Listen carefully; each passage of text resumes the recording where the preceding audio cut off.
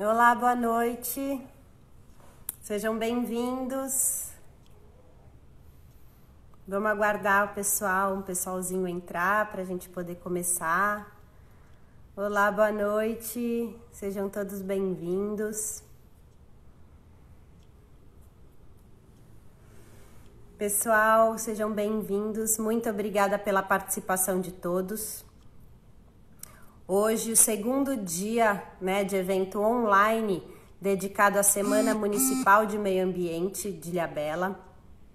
Então, uh, meu nome é Fernanda Frediani, estou como anfitriã dos painéis e, em nome do Sustenta, quero agradecer à Prefeitura Municipal de Ilhabela, à Secretaria de Meio Ambiente pela realização do evento.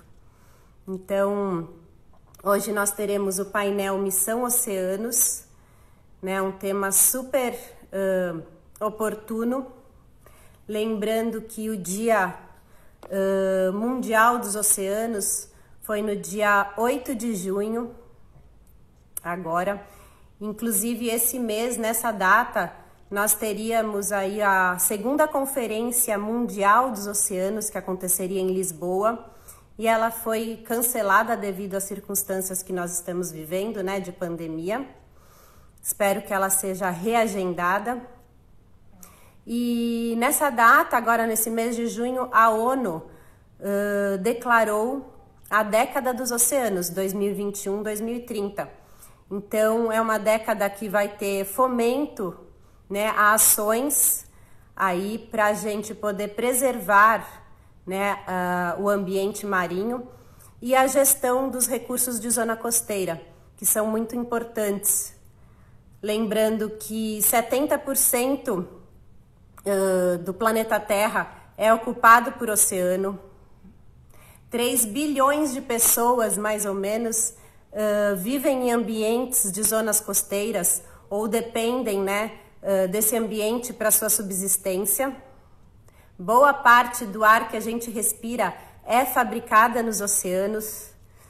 Então, assim, a gente precisa olhar de uma forma mais especial para esse ambiente, para os serviços que, eles, que ele faz para a humanidade, né? E para o equilíbrio do nosso planeta, para esses animais marinhos que estão ali, né? E por conta disso, a gente traz aqui hoje no painel Missão Oceanos, três protagonistas de projetos muito importantes que a gente tem aqui na cidade de Ilhabela, que realizam é, ações é, para preservação e por isso então vou chamar aqui o nosso primeiro participante, o Júlio Cardoso, né? Só um minutinho. Opa. Inclusive também ele está entrando. Olá, Olá. Júlio. Está me ouvindo bem? Estou te ouvindo bem, seja bem-vindo. Boa noite, obrigado, Luciana. Uh, já estou aqui à disposição. Obrigada, Fernanda. Eu sou a Fernanda. Eu falei Fernanda, se eu não falei, está falado. Está resolvido. Seja bem-vindo, boa noite. É um prazer, Júlio, recebê-lo aqui, mesmo que boa. seja nesse formato, né? Então, estou muito feliz com a sua participação e até com esse briefingzinho aqui que eu fiz. Mas, assim, realmente a gente está numa época é apropriada ainda mais, né, para a gente falar sobre os oceanos. Eu acho que a gente está com o holofote virado para ele, graças a Deus, né?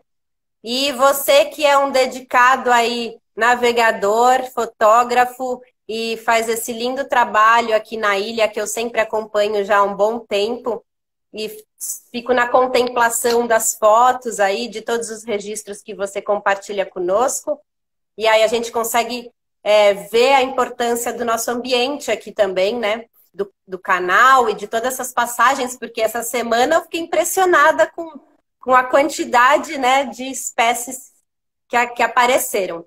Mas enfim, então eu quero que você fale um pouquinho do projeto Baleia Vista, pessoal, que o Júlio Cardoso é fundador, né? E hoje ele vai apresentar um pouquinho a respeito da importância desse trabalho, não só a nível daqui regional, né, mas a nível de, de monitoramento e observação dessas espécies que fazem essa migração aí, né, por tantos locais que nem a gente acho que imagina, talvez. Então, obrigada. Palavra é sua. Ok. Obrigado, Fernanda. Uh, meu nome é Júlio Cardoso, né? Como você disse, eu sou fundador do projeto Baleia Vista e nós fazemos parte de um grupo até mais amplo de parceiros que estamos atuando conjuntamente uh, em prol desse trabalho, que é um trabalho de pesquisa e um trabalho de conservação e também de educação ambiental em relação à fauna marinha, em relação à fauna marinha que existe na nossa região, na Ilha Bela. É, é uma das regiões que tem a fauna marinha mais rica do Brasil. Só que pouca gente conhece, né? O pessoal não. não ah, e, e eu vou contar um pouquinho da, da história para poder perceber como que as coisas evoluíram. Eu navego há muitos anos por aqui e há, há uns 30 anos que eu navego, né? E uh, comecei a ver coisas incríveis, né? E aí comecei a organizar melhor uh, num sistema que a gente chama de ciência cidadã, que é de levantar informações. Eu tive uma ajuda da Shirley Pacheco, que é uma bióloga fantástica, em 2004. E a partir de lá, 16 anos que a gente está fazendo o registro de baleias, golfinhos, aves uh, pelágicas também aqui na nossa região.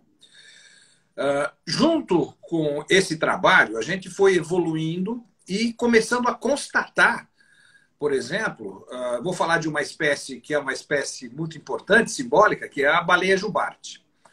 Uh, Ilhabela estava totalmente fora do mapa uh, da, de, de, baleia jubarte, não tinha. Imagina, baleia jubarte na Ilhabela, baleia em São Paulo. E esse trabalho que a gente foi fazendo uh, pouco a pouco, de mostrar o que existe aqui, uh, nos colocou no mapa. Né? Hoje, Ilhabela é uh, importante porque o projeto, que eu vou dar mais detalhes já, nós somos parceiros do Instituto Baleia Jubarte desde 2017.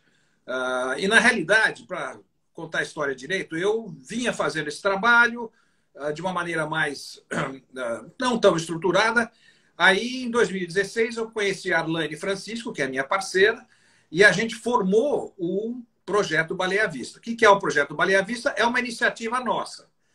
Nós que patrocinamos, uh, isso é uma grande vantagem, né? Que a gente, é. a gente que sustenta, uh, a gente orienta esse trabalho para um trabalho de pesquisa, ciência cidadã. O que, que a gente faz? A gente usa foto, usa dados, informações de comportamento, e a gente conseguiu formar um patrimônio.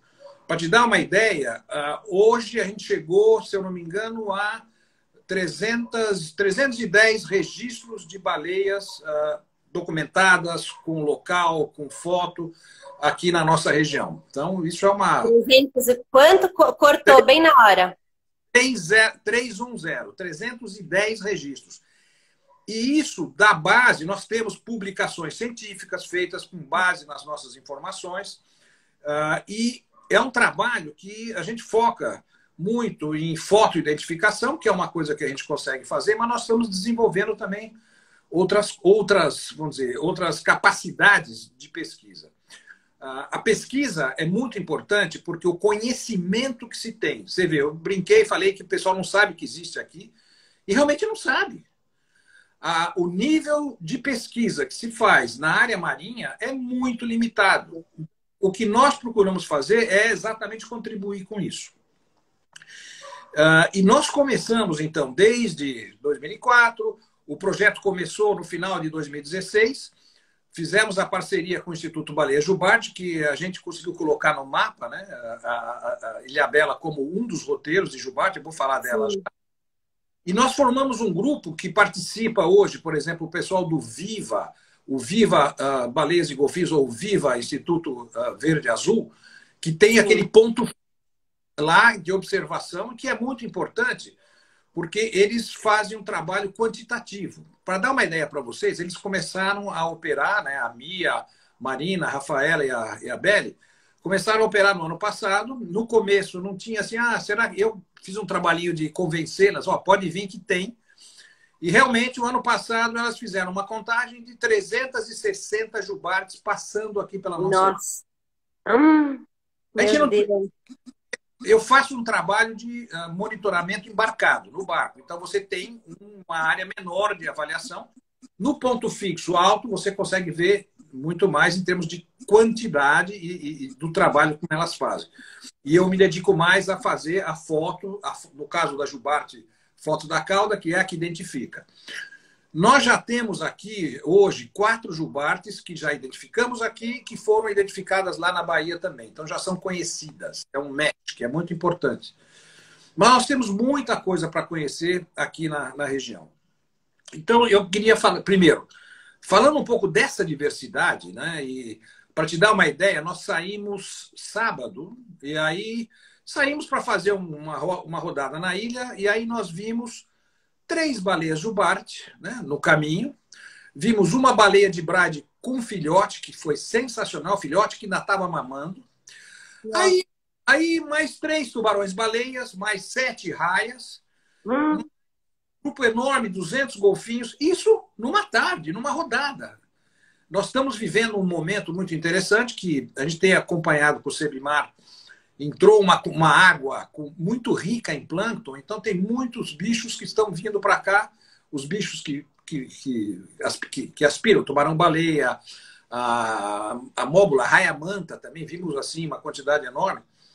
E as baleias vão atrás de alguns outros bichinhos que estão, tipo camarão, muitos peixes. Então, aqui uh, é uma área de passagem das jubates, mas está se transformando numa área que, eventualmente, também é uma área que elas fazem um lanchinho. Ah, ah sim. Mas então, é de, de, resguardo, não, assim, mas de passagem por um período maior. É, o, a temporada, as jubartes, elas fazem o seguinte, elas se alimentam na região uh, pré-antártica, uh, Ilha Georgia do Sul, a nossa, as jubartes do, do Atlântico Sul.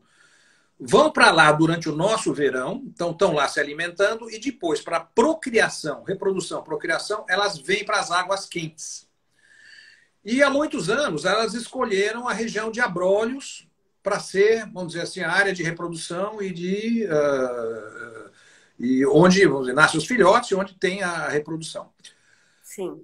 E elas faziam isso subindo. Só que é importante lembrar que há 30 anos atrás a população de jubates tinha se reduzido a muito poucas, poucas mil, duas mil, três mil, não se sabe exatamente o número, algo assim, por causa da caça.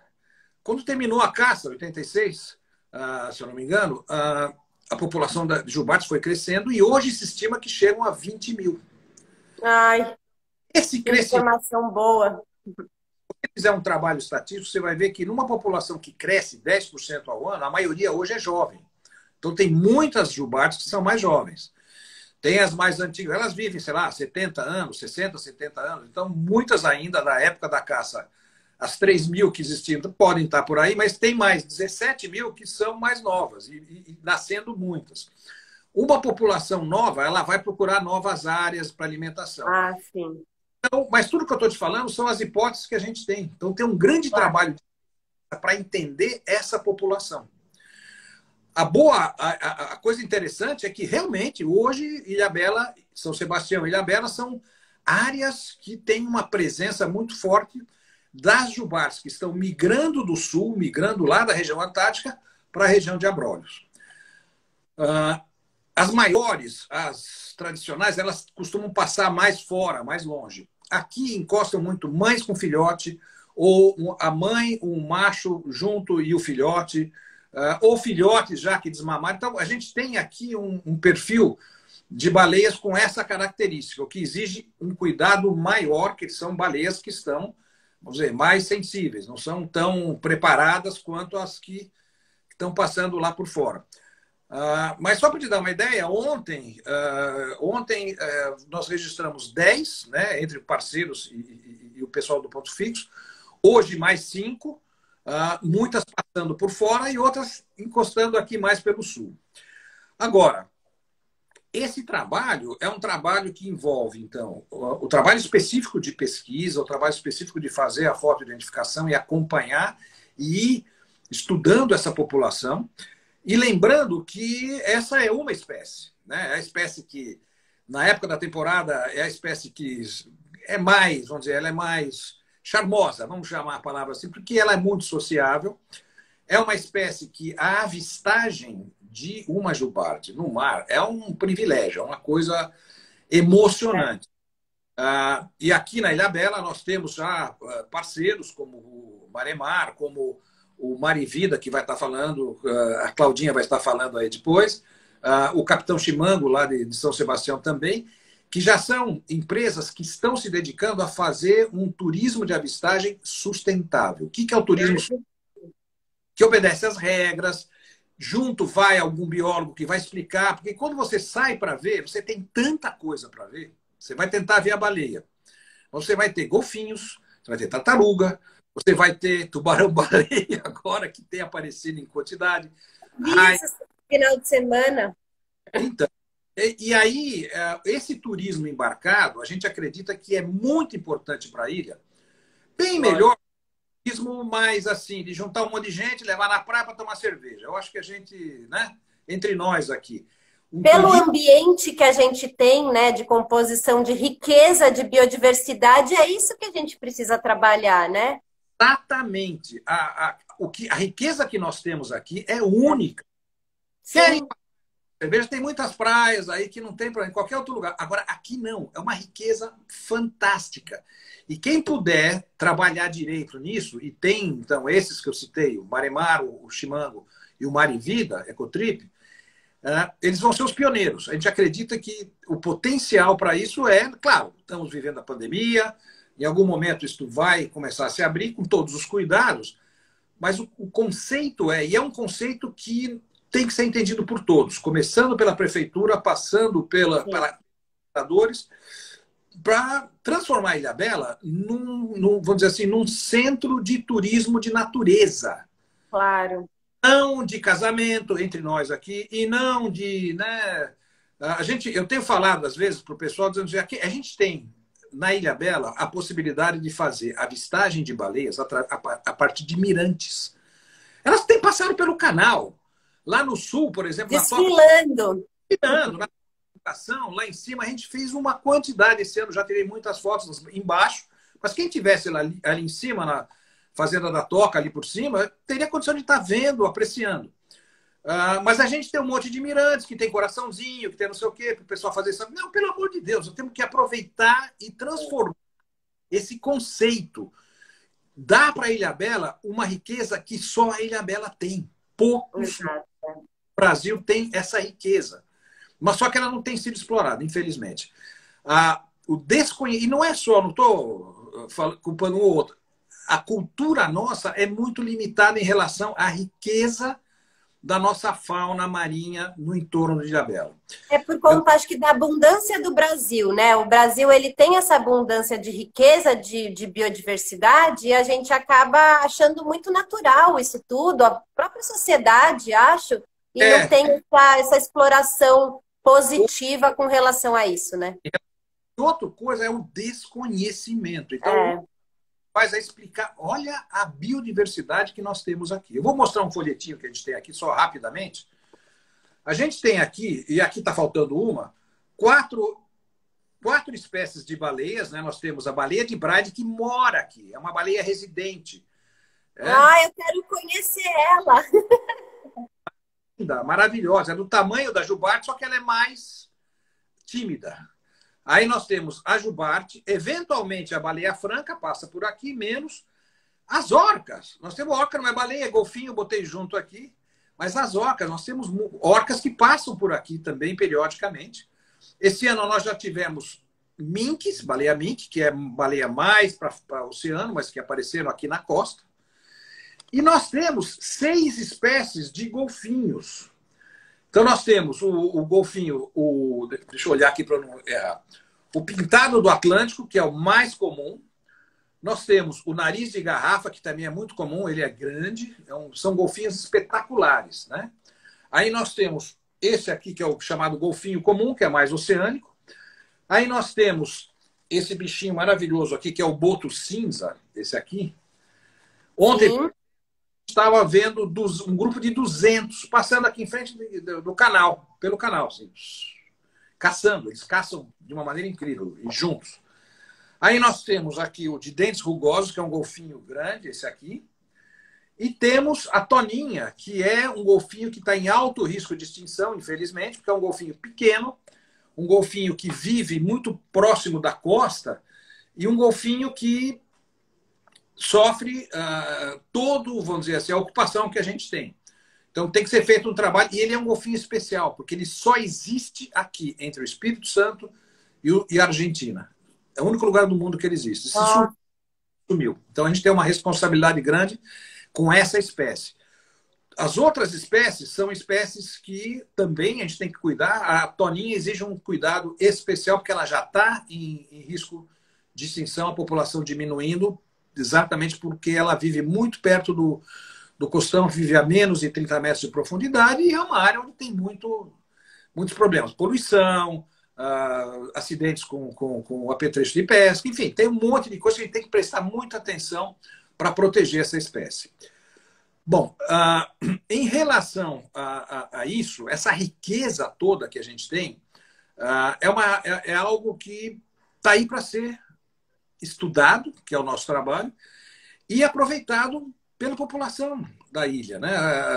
por quem vem conhecer a ilha. E a gente acredita que esse é um, uma questão assim central. O grupo que a gente está juntos, nós estamos juntos hoje, que tem, ele tem até famoso, mais um dos grupos de, de WhatsApp, mas é um grupo que já está funcionando faz tempo, em que a gente troca muitas experiências e informações. Então, quando a gente vê uma baleia, já comunica para os demais. Então, se tem. Uh, uh, que está o pessoal do Viva, né? Instituto uh, Verde Azul, que está. Da MIA, né? Está a Mara do Sea Shepherd, né? Que a Mara, que estará aqui daqui a pouco, na é. sua sequência. Rádio dela dando uma força. Uh, e vai o, o Mar e Vida, e nós, para dar uma ideia para você, por exemplo, no, no, ano passado, nós criamos um protocolo de segurança com a DERSA em relação à balsa. Por quê? Sim. Mais de 20 jubartes resolveram atravessar o canal e passar em frente da. da, da cruzar a linha da, de, de, de rota das balsas. Sim. E aí nós criamos, junto com a Marinha e com o pessoal da DERSA, um sistema de alarme. Então, pessoal lá no sul, nos borrifos, no ponto fixo, começa a ver as baleias. Olha, elas estão vindo para o lado do canal. Aí nós temos o, o Frank, que é um parceiro fantástico, que está ali na, na, perto da Itapsirica. Aí nós temos o Marivida, que está lá na Praia do Curral. Então a gente consegue acompanhar o que está acontecendo. Quando percebe que ela está subindo e vai atravessar o canal, nós já avisamos a Dersa. No ano passado funcionou muito bem, não tivemos nenhum acidente. Ah, as balsas, o que, que elas fazem? Diminui e principalmente fica de olho, presta atenção. Se tiver dá uma segurada tal. E os comandantes das balsas estão muito, estão juntos, estão muito uh, parceiros. Bom, vocês foram pioneiros, então, nesse protocolo, né? De, de, de... Esse, ano, esse ano já teve uma, uma nós registramos, ela estava já ali na, na, na, na uh, Uh, ela tinha entrado, já estava do lado de São Sebastião, ali no, no Mangue do Araçá, perto do Mangue do Araçá. Foi vista lá, aí nós já acionamos, mas por sorte ela voltou. Ela, ela, muitas fazem isso, elas vão até ali perto da balsa e volta, e depois continua por fora, vai para a ponta do boi, vai embora. E nós já tivemos uma, só que na realidade tivemos duas. Uma segunda, ninguém sabe, ninguém viu, e ela foi me aparecer lá na ponta das canas. Nossa. É, é o perigo, porque às vezes você não vê, ela passa meia. Então, a gente mantém esse protocolo. Nessa época, independente de ter ou não ter, eles já estão avisados, eles já estão prestando mais atenção. Uh, que foi algo importante. E, enfim, uh, o que nós temos aqui desta fauna de cetáceos, vamos dizer, baleias e golfinhos, é uma riqueza que poucos lugares no Brasil têm. Muito e eu acho que envolve muito essa questão também de pessoas como vocês, né, como esse grupo que vocês estão criando de, dessa pesquisa. Então, também essa demanda de terem pessoas olhando para essa biodiversidade que também acaba puxando é, esse tipo de turismo aqui para nossa região. É, eu até, desculpa até, vou ter que ser mais, né? Hoje a gente tem você como participante e até as, a sequência que a Mara e a Cláudia é, vão dar continuidade nesse tema também que a gente vai abordar. Infelizmente, a gente não tem tanto tempo, mas queria assim que você deixasse uma mensagem nesse sentido que eu achei muito bacana esse olhar que você trouxe, até porque eu pensei aqui no bird watching, né?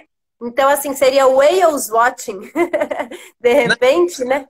É, na realidade, a gente chama de turismo de natureza. As duas coisas se juntam. Ah, você tem o bird watching da Mata Atlântica maravilhosa que a gente tem. E você tem o bird watching e o whale watching das aves pelágicas e dos cetáceos no mar. Então, você tem... O importante é que aqui na ilha existe uma riqueza de natureza, uma riqueza de fauna que é fantástica. E a mensagem é essa: vamos prestar atenção nessa fauna, vamos dar a importância que ela tem e vamos transformar uma coisa que é específica, única desta região em algo que valorize a região e que, e que proteja.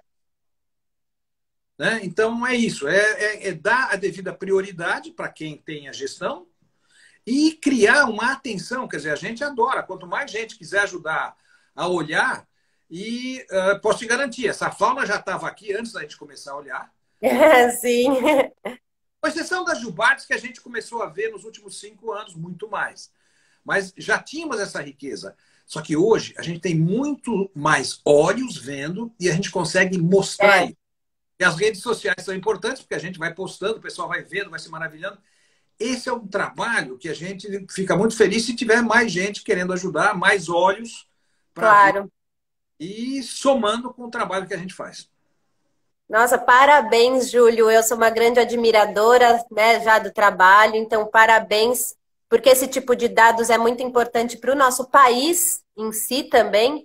Então, agradeço a toda essa rede que vocês estão construindo né, nesse sentido e que realmente a gente consiga mostrar é, aqui para nossa cidade esse potencial que a gente tem desse ecoturismo, turismo de natureza que é a essência, né, mesmo do município. Então, muito obrigada e até uma breve próxima participação e parabéns. Obrigado. Ok, um abraço. Continua aí com a gente para acompanhar na sequência. Se tiver alguma dúvida, pode chamar que eu vou estar aqui acompanhando. Tá ótimo. Obrigada, Júlio. Tchau, tchau. Tchau.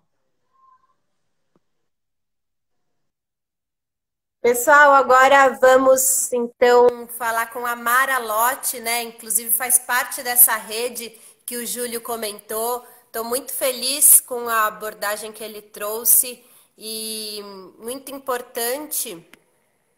Vou chamar aqui a Mara. Muito importante nosso município realmente explorar melhor essa demanda do turismo de natureza. Então, é o nosso principal aí também potencial, né? É, falando inclusive que amanhã teremos aí 80, é, teremos a participação do, dos representantes do Parque Estadual. Então, né, agora vamos falar com a Mara. Seja bem-vinda. Muito obrigada, boa noite a todos. Boa noite, Mara. Obrigada pela disponibilidade também estar aqui conosco na Semana Municipal de Meio Ambiente de Ilhabela. Então, nada mais né, oportuno do que a gente trazer vocês aí, os protagonistas também de projetos é, olhando para a natureza, né? E queria que você aqui trouxesse um pouquinho, Mara, para a gente. É, a Mara, ela, Mara Lotti, representante da Sea Shepherd Brasil, queria que você trouxesse para a gente é, o que, que significa a organização, né, Sea Shepherd, e que você se apresente e a palavra é sua.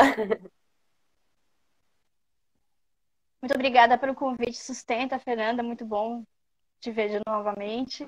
Sim. Uh, eu sou a Mara Lotti, sou coordenadora da Shepherd do Núcleo São Paulo, atuando em Ilha Bela, eu faço as, a campanha, eu ajudo na campanha de limpeza de praia e agora na campanha Burrifos, que logo mais eu vou falar.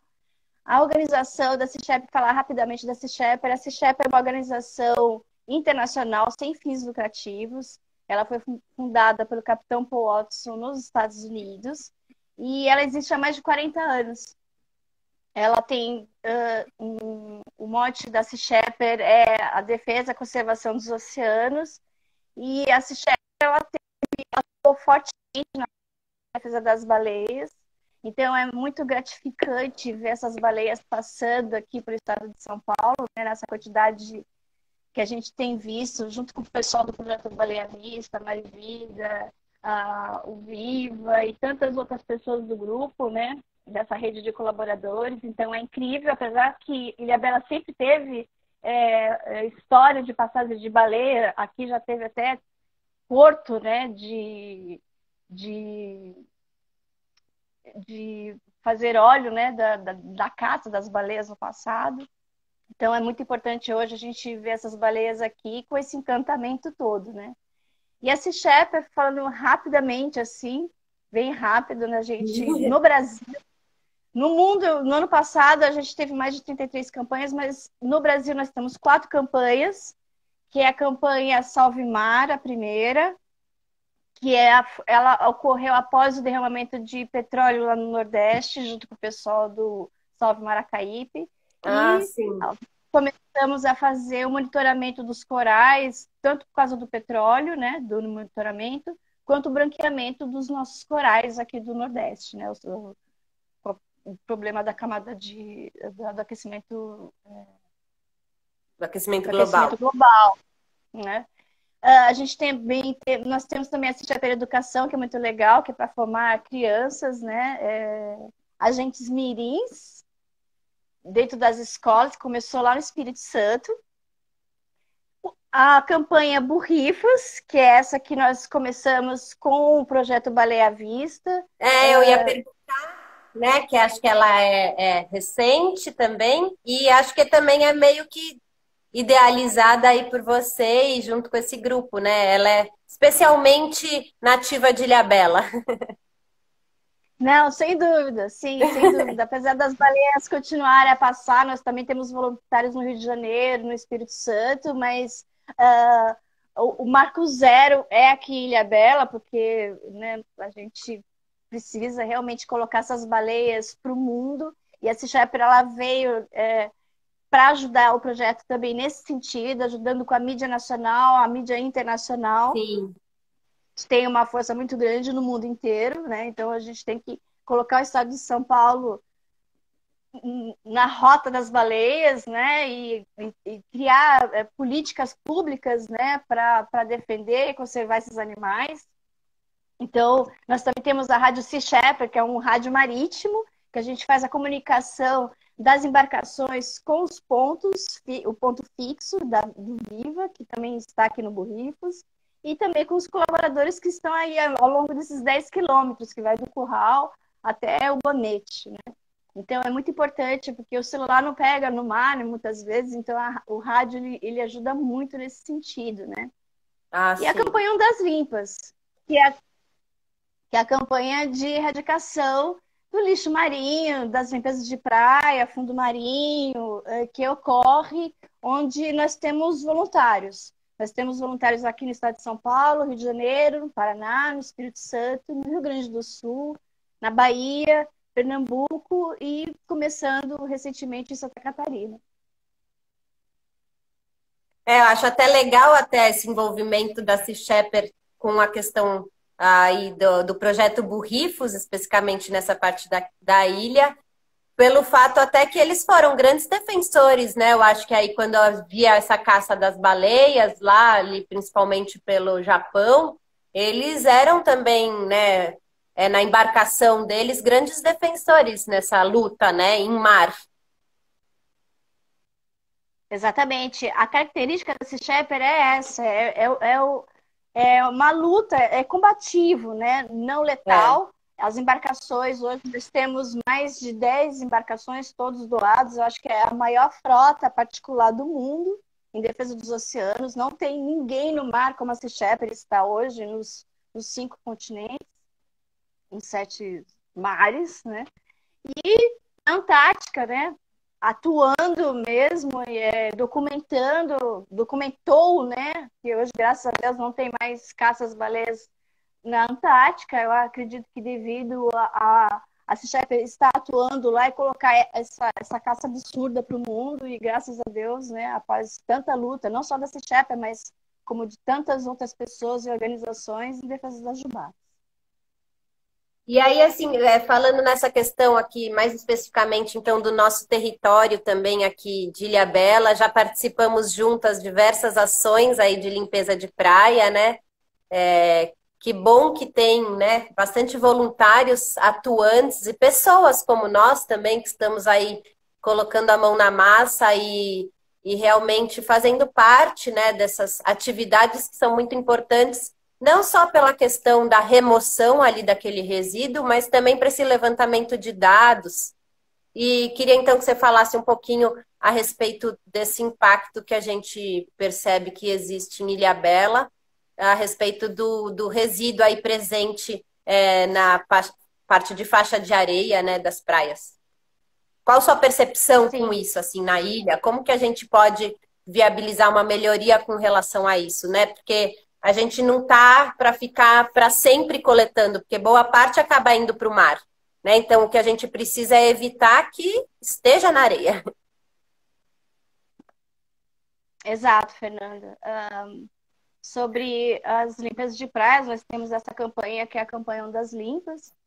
A Sea Shepherd, ela, a primeira vez que ela fez a limpeza de praia aqui foi há 10 anos atrás. A gente não fez limpeza de praia, a gente fez limpeza de fundo marinho em 2010 lá na Praia Grande e a gente tirou muito pretexto de pesca, né? A gente fala muito das praias, mas a gente também vê o fundo marinho é. de Ilhabela sujo com, com, com petrechos de pesca, pilha, linha, anzol. Então, a CICHEP, ela tem feito esse trabalho durante todos esses anos, agora mais ativamente com a campanha, né? Então, a gente faz a limpeza de praia, a gente faz limpeza sub, né? Já fizemos limpezas em vários lugares e a gente, na verdade, a gente mitiga, né? Esses, esse, essa é uma prática de mitigação, né? A gente não vai resolver os problemas porque o cenário ele não mudou.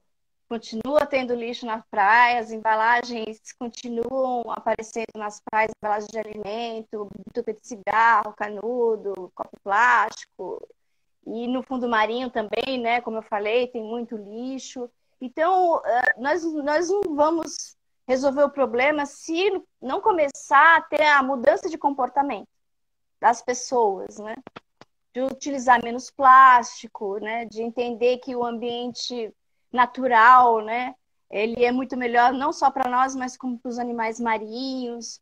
E eu acredito que isso só vai mudar com a mudança de hábito das pessoas, de mudar, ter novos comportamentos e políticas públicas, né? A Ilha Bela, como o Júlio disse, é um né? lugar que, é. que tem uma biodiversidade gigantesca.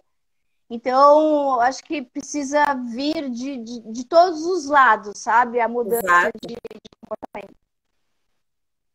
É a união, né? A união da sociedade civil, uh, da esfera do governo, do governo junto com, com a iniciativa privada. Então, é o fortalecimento desses três grupos que realmente vai, a gente vai conseguir fazer essa transformação. Concordo também. Porque na praia a gente vai tirar, a gente vai mostrar para as pessoas, muitas pessoas quando vêm, nos vêm limpando, fica pensando, né, mas por que você vai resolver o problema? Eu falei, não, mas eu tô aqui para te mostrar esse problema. Então a gente vai, quando a gente vai às empresas de praia, a gente quer conversar com as pessoas, tocar as pessoas, inspirar as pessoas a ter uma mudança de comportamento delas, que é nisso que a gente acredita. A Cichepper acredita muito no movimento das pessoas. Aliás, a Cichepper, ela só existe por causa do movimento das pessoas. Nós não temos nenhum vínculo com o governo, financiamento. São, é um movimento de pessoas em prol da conservação. Então eu acredito muito nisso, sabe? Na paixão das pessoas em querer fazer as mudanças. Ilha Bela é um lugar incrível. A gente tem vários exemplos aqui uh, de, de, de, iniciativas que precisam ocorrer. É, eu, eu, posso citar três rapidamente. A gente tem um berçário da Ilha das Cabras que vai até o Portinho, que requer políticas públicas e turi de turismo também para preservar esse lugar, porque é um berçário marinho, ali tem espécies endêmicas. É, nós também temos o ilhote da Praia Grande, que eles começaram a nidificar, os 30 reais começaram a voltar depois de vários anos que não nidificavam na, na, na, no ilhote da Praia Grande, porque as pessoas subiam e pisoteavam os ovos. Então, nós também temos agora né, as baleias passando aqui no sul da ilha, na campanha Burrifos, né, que leva o nome do bairro, porque aqui passa muitas baleias, tanto que o ponto fixo do Viva Baleias é aqui no Burrifos, que a gente sempre viu que é bem em frente a Alcatrazes. E eu moro aqui há, há mais de 20 anos, então eu sempre vi baleias aqui. Claro que agora, muito mais do que antes, mas eu sempre, a gente sempre teve história das, das baleias passando aqui. Então, eu acho que eu acredito que uh, essas iniciativas públicas elas precisam ser direcionadas para isso, sabe? Para esse encantamento que vai trazer com que as vai fazer com que as pessoas elas tenham uma mudança de comportamento e pertencimento, sabe, do local. Tanto lá da Ilha das Exato. Cabras, que vai até o Portinho, que que é um quilômetro e meio, sabe, que poderia ser uma unidade de conservação, que nunca aconteceu. O ilhote, que agora a gente está desesperado com os ovos que estão lá dos 30 reais, as pessoas sobem. Então, a gente precisa, sabe, de educação ambiental dentro das escolas. Às vezes a gente fala de Fernando de Noronha ou do Caribe, lugares maravilhosos. Mas Ilha Bela, ela precisa desse, desse pertencimento, sabe, das pessoas entenderem que aqui a gente pode ter uma vida de qualidade com animais incríveis, muito perto de São Paulo, então nós somos privilegiados. A e gente tem, é, a gente, é. A gente né? tem, então, é, eu acho bacana até porque agora a gente vai vir né, com a Claudinha e logo na sua sequência que vai trazer um pouquinho também dessa abordagem da questão do ecoturismo que o Júlio falou. Você ainda né, colocou melhor ainda nesse sentido é, dessa, desse potencial da ilha, né? Então a gente tem o mesmo potencial de Fernando de Noronha, nós somos também uma cidade maravilhosa, abençoada com essa biodiversidade. A gente precisa só conseguir fazer essa organização melhor de enxergar isso para a gente ter essa exploração é, positiva com relação ao turismo. E aí trazer pessoas que tenham essa consciência. Então, acho que é aí que a gente precisa, né? É, mexer melhor, enfim. E juntos a gente está sempre criando essa rede, né? Então, assim, sou muito grata também, porque há tempos a gente tem atuado aí em conjunto. E essa é mais uma oportunidade. Queria que você deixasse também uma mensagem aqui. Infelizmente, a gente sabe que o tempo não é muito extenso, né? A gente quis trazer três pessoas que representam bem a missão Oceanos em Ilhabela. Então, queria que você deixasse essa mensagem e vou até abrir aqui os comentários também para ver se alguém, enfim, trouxe alguma coisa aqui nesse sentido de alguma pergunta. Uh, é bem rápido a mensagem que eu vou dizer. Aliás, é uma frase do Capitão Potts, o fundador desse Shepherd, que diz, né, que para resolver problemas impossíveis, nós precisamos de soluções impossíveis. Então a gente precisa ter criatividade, a gente precisa ter paixão para fazer a é. mudança. É. E eu acho que a mudança está em cada um de nós. Nós, como sociedade, vamos colocar no poder pessoas parecidas conosco, então acho que a mudança precisa vir de nós mesmos. Então, vamos pensar no impossível, sim, sabe? Vamos pensar em coisas criativas para mudar esse cenário, aproveitando essa nova fase dessa nova vida que teremos após essa pandemia, né, a quarentena, a gente criar mecanismos para proteção dos oceanos. E muito obrigada, Sustenta, pela, pela oportunidade de falar. Obrigada, nossa, você falou tudo com essa questão do fazer as coisas com paixão. Eu acho que assim os voluntários eles têm tomado também uma nova uma maré de força nesse sentido, porque os voluntários eles trabalham por amor, né? Então a gente está criando essa rede aqui, todo mundo trabalhando né, por amor, e, e aí junto a gente vai conseguindo conquistar espaço e notoriedade né, para conseguir construir políticas públicas e, né, e uma na preservação e engajamento de outras pessoas. Obrigada, Mara. Parabéns. Espero que em breve a gente possa novamente estar junto fisicamente. Sem dúvida. Muito obrigada. Boa noite. Obrigada a, a você. Parabéns pelo trabalho e continuem, né, firme e forte para a gente poder proteger aí todo essa, esse ecossistema marinho. Obrigada. Vou Obrigada. chamar a Cláudia agora. Então, fico muito feliz, gente. Ilha Bela tem muita gente bacana aqui para somar. A gente tem muita, a gente tem muito mais coisas, pessoas, acho que assim, realmente que estão somando nesse cenário do, do da proteção, da preservação. Então, olá, Cláudia. Olá, boa noite a todos. Tudo bem, Fernanda? Muito obrigada pelo convite. Estou muito feliz em estar aqui com vocês. Ah, que legal. Obrigada a você pela disponibilidade e por participar conosco para trazer um pouquinho do seu olhar com relação também a todo essa abordagem do ecoturismo, né? Do turismo embarcado que, que você atua aqui na ilha. Acho que a gente já tinha tratado em alguns outros momentos também né? Acho que quem está na preservação, Sim. de uma forma ou de outra, acaba se conectando, né? Quando a gente está no mesmo mundo. E queria até que você trouxesse também, porque eu sei que você é monitora de, de turismo embarcado para o refúgio de Alcatrazes também, que eu acho bacana Sim. você falar um pouquinho disso, para talvez as pessoas que estejam aqui não conheçam. Então, fica à vontade também que você se apresente, né? Então tá, é, para quem não me conhece, eu sou a Cláudia, eu sou bióloga marinha, trabalho na empresa Marivida Cotrip e a gente de desenvolve né, o turismo de mergulho, passeios de lancha, jeep, aqueles passeios que o pessoal conhece bastante aqui em Ilha Bela. E além disso, a gente desenvolve ações de, de ações socioambientais né, e de apoio à pesquisa também. Então, nós vimos no ecoturismo uma oportunidade não só de ter a nossa renda, mas de sim é, retribuir o que nós tiramos né, do meio ambiente, já que o meio ambiente, a natureza é a nossa fonte de renda e também de sobrevivência, né, que para tudo nós retiramos da natureza, a gente quis de alguma forma devolver isso. Nós vimos com o ecoturismo, com o turismo de natureza, essa oportunidade.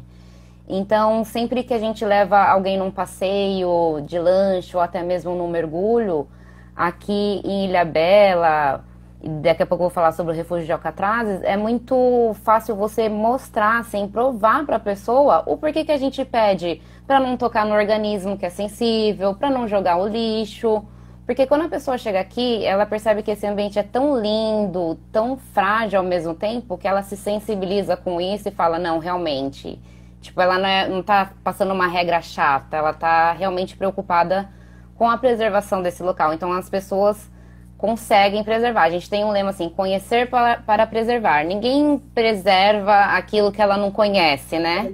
Então, na natureza, a gente consegue mostrar o porquê mesmo dessa pessoa deve preservar. Então, a gente tem esse lema sempre: conhecer para preservar. É. E aí, falando um pouquinho do refúgio de Alcatrazes, né? É, o refúgio de Alcatrazes ficou muito tempo fechado. Quem tomava conta daquele arquipélago era a Marinha do Brasil. E aí, depois de alguns anos, o ICMBio, junto com a Marinha do Brasil, começou a, a tomar conta daquele local.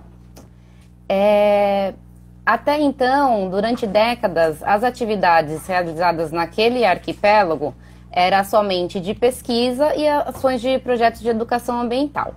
Recentemente, há pouco mais de dois anos, é, foi publicado o plano de manejo, o plano de uso público e as atividades de visitação públicas, pública começaram a acontecer. De que maneira? Através das empresas cadastradas, né, através do ICMBio Alcatrazes e também com condutores credenciados pelo ICMBio. Então, qualquer visita tem que ser acompanhada desse condutor. O porquê sim? Porque assim, uma, lá é uma unidade de conservação. Existem vários tipos de unidade de conservação. Aquelas que são mais restritivas, e aquelas mais permissivas. Alcatrazes é mais restritiva, como eu já falei, só pode ter pesquisa, educação ambiental e agora a visitação pública de forma ordenada. Porque o objetivo principal daquela unidade é a preservação ambiental, é manter aquele ecossistema totalmente equilibrado. E como para ocorrer a visitação tem uma série de regras, o condutor é muito importante nesse sentido. Porque é difícil um visitante pegar aquele, aquele plano de manejo, aquelas regras, ficar lendo, atento às regras que ele tem que estar lá. Então, o condutor, além de trazer informações riquíssimas a essa visita, como falar as espécies endêmicas daquele local, como falar que lá é o maior ninhal de um dos maiores ninhais de fragatas do Atlântico Sul, falar o porquê que é proibida a pesca lá, porque proibindo a pesca num lugar como esse, as espécies ali se reproduzem com tranquilidade, explorando para aqueles locais que podem ter a pesca. Então o condutor tem que explicar tudo isso, né, para o claro. visitante, que é difícil ele ter o acesso a essas informações. E além disso, além de enriquecer o, a visita, ele também tem como obrigação passar as regras, né? O, porquê, é, o que pode ou não pode fazer ali dentro daquele lugar, a fim de quê? A fim de garantir a qualidade ambiental desse refúgio, para que os próximos visitantes conheçam esse lugar assim como está, tão rico como está, ou até melhor do que quando ele esteve ali, né? Então, essa é a importância do condutor e dessas unidades de conservações mais restritivas. É, não, e são essenciais, né? Isso é, entra assim, a, a unidade de conservação, ela tem.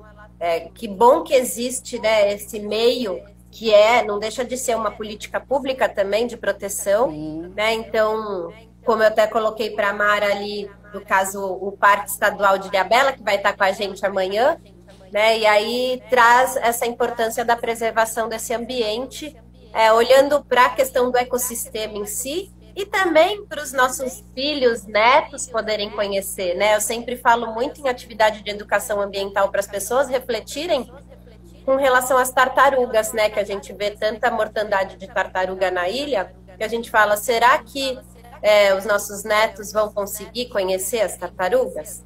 Então, graças a Deus, o Júlio trouxe um dado sobre as baleias, que elas tiveram né, essa grande é, crescimento, né, populacional. exato, importante. Então, é, é com relação a essa parte do ecoturismo, como que você sente aqui que o município de Ilhabela e até esses, essas pessoas que buscam né, a Marivida, a Ecotrip, é, é, esse potencial, assim, no sentido que são pessoas, é, é enfim, da, da área, é um turismo mais de pessoas que são da área ou é, são pessoas assim mais, uh, enfim, que estão buscando mesmo de curiosidade para conhecer o ambiente? É, a princípio, aqui na ilha, o turismo embarcado, que envolve várias atividades, como observação de aves marinhas, observação de cetáceos, mergulho, até mesmo pesca, acontece, esse nicho é explorado por diversas pessoas, empresas, por pescadores, por locais que têm seus, seus embarcações e até mesmo por lanchas particulares. Acabam explorando o nicho de, de turismo embarcado. O que deveria. Assim, tem pessoas que exploram de forma extraordinária, dando bons exemplos, mas também deveria ter uma melhor rede, assim, de, de maiores cuidados, né, de maior observação aos ambientes marinhos, o, a atividade não é tão ordenada assim como eu acho que a cidade, junto com a prefeitura, teria um super potencial, né? De capacitar essas pessoas que trabalham né, na água, com seus barcos, sabe? Eles poderiam agregar não somente para a natureza, mas até para eles mesmos. E, e, aí entra o público que vem procurar. É, a maior parte que nos procuram para esse tipo de passeio são pessoas que já são assim, já tem aquele pezinho mais ambientalista, uhum. que são mais protetores, que já estão mais engajados na causa. E então acabam procurando a gente, não sei se tende as nossas propagandas, tende mais a esse público, mas eventualmente também vem leigos querendo saber, nossa, tem baleia aí mesmo? Eu vi no Facebook, é possível ver e tal. Então você vê que está crescendo o mercado. Aquela pessoa que nunca teve acesso, né, agora que está vendo, como o Júlio falou, que agora está vendo as publicações através das mídias sociais, está se tornando um curioso e é esse público que a gente precisa trazer, porque o ambientalista que vem me procurar, ele já tem essa pegada de proteger, de é. sabe, de conservação. Agora esse essa nova galera que está chegando, que a gente precisa trazer para o turismo de natureza e mostrar essa parte da sensibilização, como a Mara falou, né, de sensibilizar a pessoa, dela pertencer àquele local para ela assim se engajar na proteção, né? você sente que que, que faltaria para melhorar isso, assim, não só no, assim do, do município, né, mas o que você acha que faltaria em termos de explorar ah, é, melhor isso? É questão a, a, mudança de cada um mesmo, né? O interesse de você fazer o que é o certo, o que é melhor, não só para o ganho financeiro da empresa, né? Não só explorar aquilo comercialmente, mas fazer de fato o que é o certo, respeitar, ver um animal, você está dentro de uma embarcação, você vê uma baleia, você não vai para cima da baleia como a gente vê o caso, você vai respeitar a lei dos 100 metros.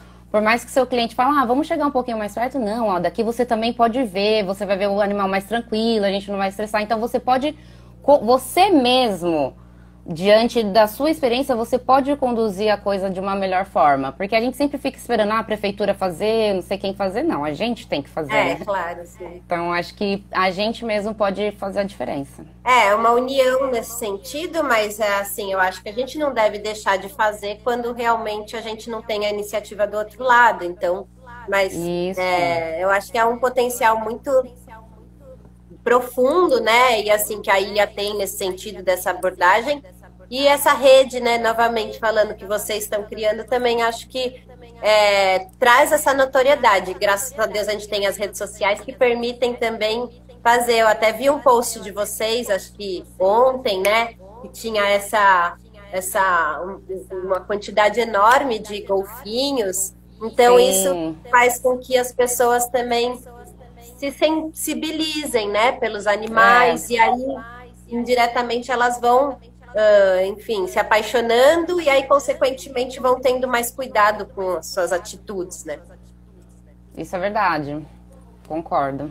Então, assim, é, quero parabenizar também. A gente vai chegando aí quase no finalzinho do tempo. É, para a gente não ficar apertada aí, quero até que você deixe uma mensagem também, assim, agradecer sua participação, sua disponibilidade.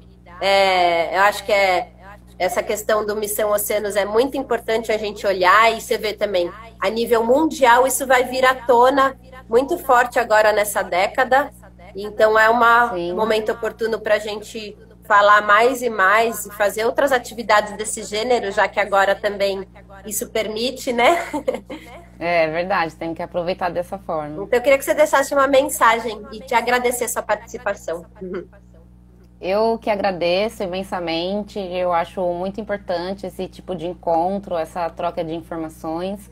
E a mensagem que eu deixo é essa: é, se cada um fizer a sua parte, a gente consegue melhorar a situação, né? O, tem vários impactos ruins que estão acontecendo, mas a gente não pode desistir de fazer o que é melhor, porque o mal vai vencer quando o bem parar de fazer alguma coisa. Então, enquanto a gente está aqui do lado do bem, lutando, catando lixinho, tentando proteger, meu, a gente vai conseguir fazer a diferença. Então, não desistam e vamos correr atrás de fazer esse mundo melhor sempre. É, concordo plenamente também, porque eu acho que olha essa rede que a gente tem, né? Ilha Bela, graças a Deus eu conheço muita gente que é atuante na bandeira da preservação. Eu acho que apesar da gente sim ter problemas, a gente é muito privilegiado. É, a gente tem ações é, pioneiras na cidade, eu sempre falo. Então, vocês, o grupo, é, é enfim, até a, a, Mia aqui do Viva, é, do Instituto Viva Verde Azul, também é parceira, participou no, numa live que eu fiz do Litoral Norte Lixo Zero. Então a gente é, juntos se torna mais forte e assim a gente consegue disseminar informação, né? Parabéns, é obrigada pelo seu trabalho, tanto na questão do ecoturismo, quanto né, como cidadã também aí levando informação para as pessoas. Muito obrigada, eu que agradeço imensamente, estou muito feliz. Que bom, eu também. Obrigada, Cláudia. Tchau, tchau. Gente, eu quero agradecer tchau. mais um dia aqui. Da, da Semana Municipal de Meio Ambiente de Ilhabela. Está é, terminando a live, cinco segundos. Obrigada a todos pela participação e até amanhã.